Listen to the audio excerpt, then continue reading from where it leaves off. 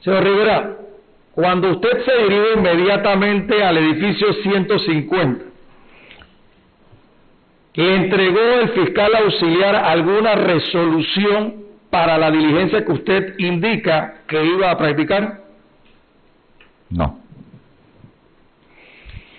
Señor Rivera, es usual de parte del Instituto de Medicina Legal practicar diligencias sin tener previamente una resolución que lo ordene? No, no es usual.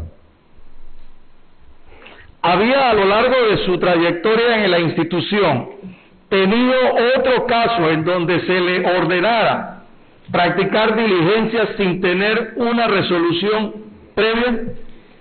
No, no.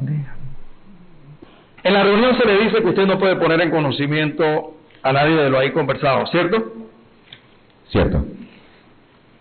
Es producto de esa eh, de esa mención que usted no pone en conocimiento a sus superiores jerárquicos. Explique.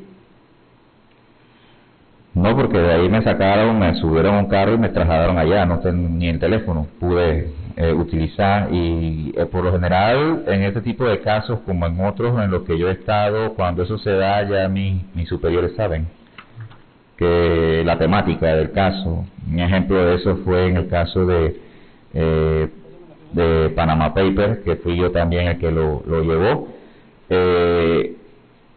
Cuando yo me enteré mis jefes sabían me llamaron para decirme que, que me encargase pues de ese, de ese caso. En este caso, ellos no sabían. Ellos se enteraron al día siguiente porque yo llamé a mi superior para preguntarle lo que estaba ocurriendo y pues que era una situación bien delicada. En ese entonces mi superior inmediato es el era licenciado Abdiel Rentería y yo ahí le puse en conocimiento a él y él me dijo, ok, déjame hablar con el doctor Más en ese entonces y luego me llamaron y me dijeron